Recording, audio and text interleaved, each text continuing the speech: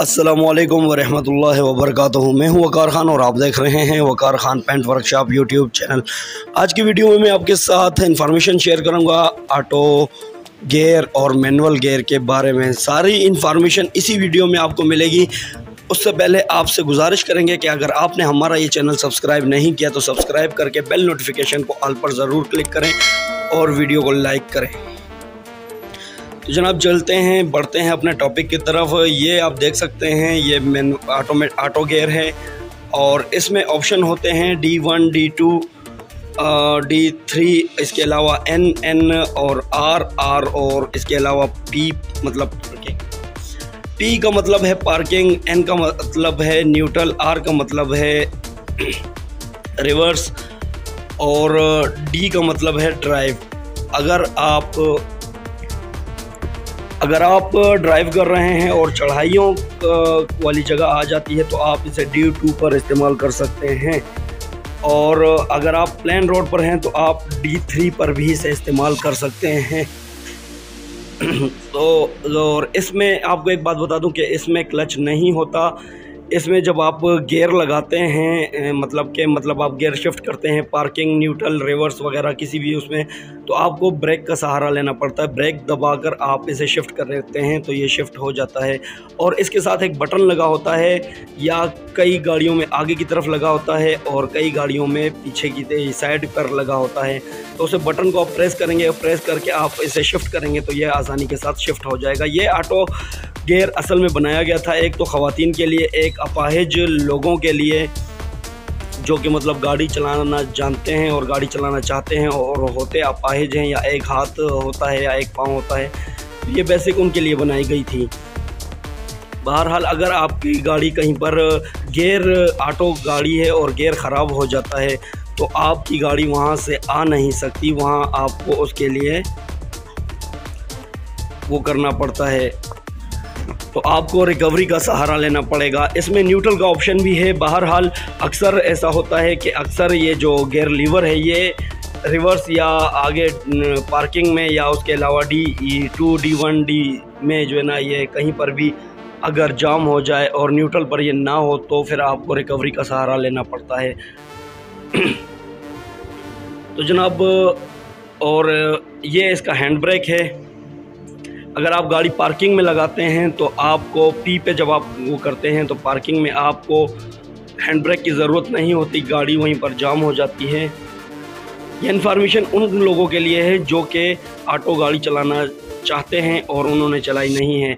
इसमें दो ही चीज़ें होती हैं, एक ब्रेक का पैडल होता है और उसके अलावा एक रेस का पैडल होता है। और यह स्टेयरिंग है स्टेयरिंग में भी काफ़ी सारे ऑप्शन होते हैं इसके। बहरहाल हमारा जो टॉपिक था वो गेयर से मुतलक था।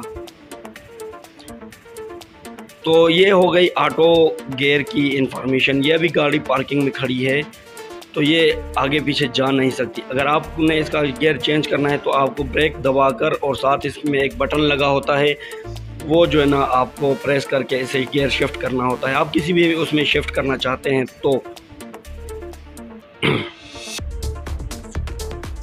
ये आप बटन देख सकते हैं। इसमें ये सेंटर में ये बटन है, बहरहाल कई गाड़ियों में साइड पर ये बटन होता है। तो इसको प्रेस किए बगैर आप इसका गियर शिफ्ट नहीं कर सकते। चाहे आप पार्किंग में शिफ्ट करें या उसमें करें शिफ्ट। इसके अलावा जब आपकी गाड़ी पार्किंग में ना हो और आप गाड़ी का वो ऑन करें, सलफ स्विच ऑन करें तो वो आपको शो नहीं होगा। गाड़ी सलफ नहीं लेगी। तो जनाब ये हो गई ऑटो की और अभी चलते हैं मैनुअल की तरफ़। मैनुअल में तीन पैडल होते हैं, जिनमें से एक पैडल ये जो आप देख सकते हैं जो प्रेस किया गया है, ये क्लच है, ये सेकंड नंबर पे ब्रेक का पैडल है और इस साइड पर तीसरे नंबर पे ये रेस का पैडल है, एक्सलेटर का। इसमें, इसके गेयर में आपको बाकायदा ऑप्शन दिया जाता है वन, टू, थ्री, फोर और जो हज़ार सीसी गाड़ियाँ हैं या 660 सीसी गाड़ियाँ हैं तो उनमें पाँच गेयर भी होता है, जिसे डबल टॉप भी कहा जाता है और एक रिवर्स गेयर होता है और इसका जो सबसे पावरफुल गेयर होता है, वो रिवर्स का गेयर होता है सबसे पावरफुल अगर कई फ़र्ज़ करें, आपसे कोई पूछे कि गाड़ी के गेयरों में सबसे पावरफुल गेयर कौन सा है तो आप उन्हें आसानी से जवाब दे सकते हैं कि रिवर्स का गेयर सबसे पावरफुल होता है। अक्सर दोस्त ये सोचते हैं कि पहला जो गेयर होता है, वो पावरफुल होता है। बहरहाल यह जवाब गलत है। तो जनाब, इसमें आपको ऑप्शन दिए गए हैं। जब आप इसका गेयर शिफ्ट करते हैं तो आपको क्लच प्रेस करके इसका गेयर शिफ्ट करना पड़ता है। ये आप देख सकते हैं, पहला गेयर इसका हमेशा लगता है डैशबोर्ड की तरफ़, आगे फ्रंट की तरफ़ पहला गेयर उसके बाद उसकी सिधाई में लगता है दूसरा गेयर फिर उसको आप जब न्यूट्रल करते हैं सेंटर में करके न्यूट्रल करके आप इसे अपने ड्राइवर साइड की तरफ़ प्रेस करते हैं और आगे की तरफ़ मूव करते हैं तो ये तीसरा गेयर और ये जनाब चौथा गेयर उसके बिल्कुल सामने ही। और जब आपने रिवर्स लगाना होता है तो उस गियर लीवर को आपने अपनी तरफ़ ड्राइवर सीट की तरफ़ प्रेस करके पीछे की तरफ़ मूव करना होता है तो यह रिवर्स गियर लग जाता है। इसमें बहरहाल अगर गियर में कोई मसला वगैरह आ जाए तो इसमें आप अगर गाड़ी को टू चेन करना चाहें तो वो भी कर सकते हैं। आ, मिसाल के तौर पर अगर गाड़ी के गियर में मसला आ गया है और गाड़ी गियर शिफ्ट नहीं हो कर रही तो आप इसमें इसका क्लच प्रेस करके इसके अंदर बैठ के गाड़ी को टुचन करके एक जगह से दूसरी जगह पर ले जा सकते हैं। और इन आगे भी इस तरह की वीडियोस में कोशिश करूँगा आप लोगों के लिए बनाने के लिए।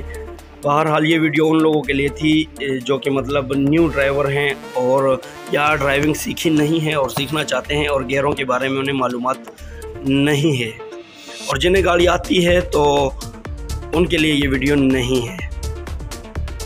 तो उम्मीद करता हूँ कि वीडियो में जो इन्फॉर्मेशन मैंने आपको देनी चाहिए, वो आप समझ गए होंगे। मिलते हैं अगली किसी वीडियो में। अपना बहुत सारा ख्याल रखें। आपका प्यारा भाई वकार ख़ान और आपका अपना YouTube channel Waqar Khan paint workshop